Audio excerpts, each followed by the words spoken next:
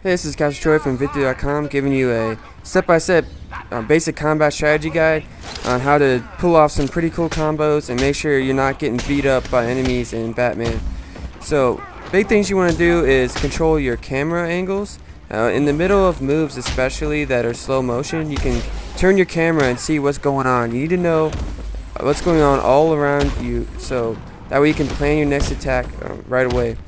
You don't want to button mash in this game. So having a plan is going to help you do that. And controlling your camera is going to help you have that plan.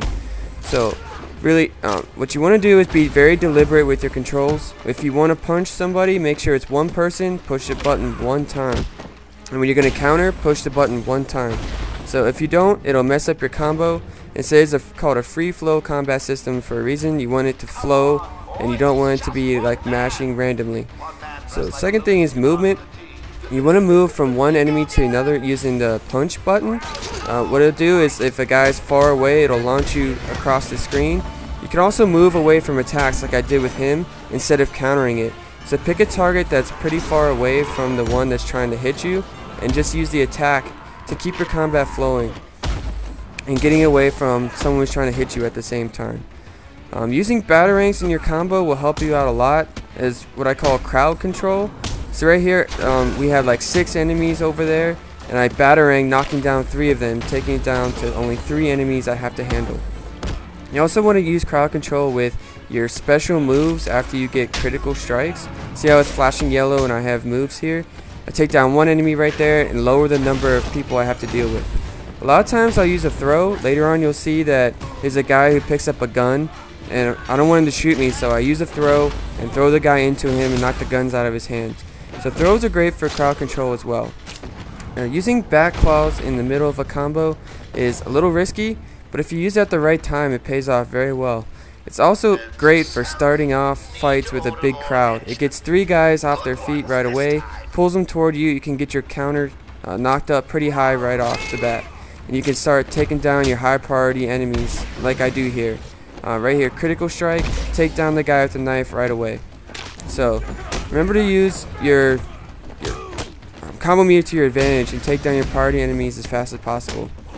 Which brings me to my next topic, which is prioritizing your enemies. Um, obviously, anyone with a gun is number one priority, and second would be anyone with like a baton that has electric charge on it, or anyone with a knife. They're a lot harder to take down, and you have to use special moves to do that, so I would try to take them out as fast as possible. So, big thing in this game is uh, your timing. Uh, I use the easy mode of this game to show you how I time my counters and prioritize my moves off of that. And um, on the hard mode you won't have that, but hopefully by then you're pretty familiar with when they're going to hit you and stuff like that. But you'll see whenever they're about to hit me, there's a thing above their head, and I go ahead and counter or move away based on that. So finally, I just want to try to talk about incorporating every move into a combo. In this particular scene, I think I do that.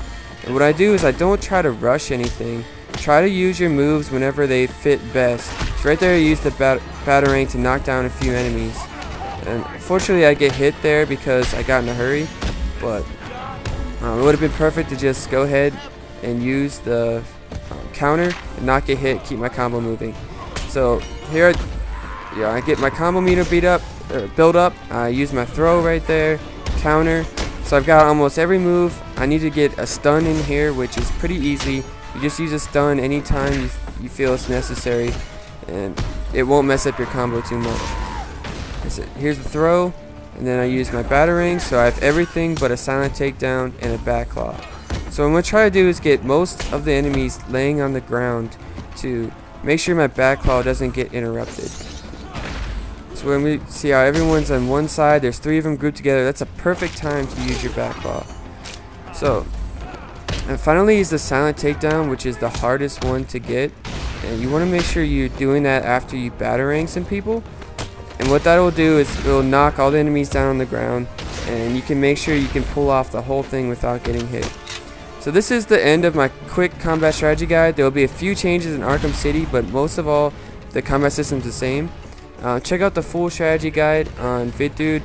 Uh, guides.vidthru.batman Arkham City.